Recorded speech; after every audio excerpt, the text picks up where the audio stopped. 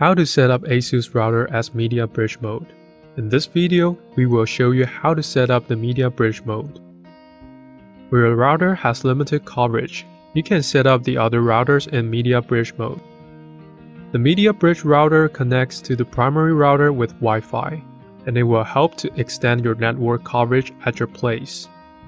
You can only connect your devices such as laptops, smart TV, or media players to the media bridge router with network cables. Set new router as media bridge mode. First, connect the media bridge router to your laptop via wired connection. Open the browser and go to router settings page.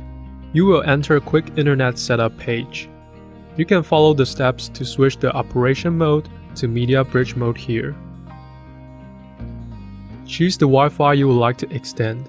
Let's take ASUS support as an example.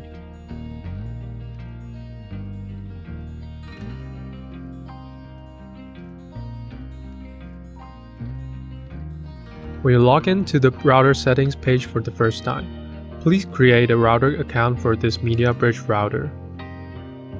Click Next to complete and the Media Bridge setting is finished. Now, let's connect to the network through the Media Bridge router. Connect the Media Bridge router to your laptop via wired connection and you can enjoy the faster and stable network.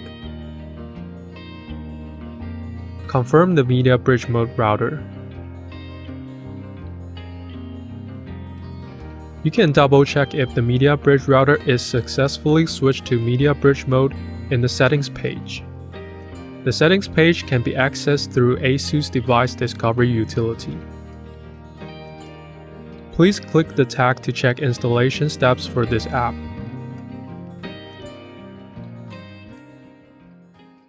Thank you for watching and welcome to subscribe our ASUS support channel.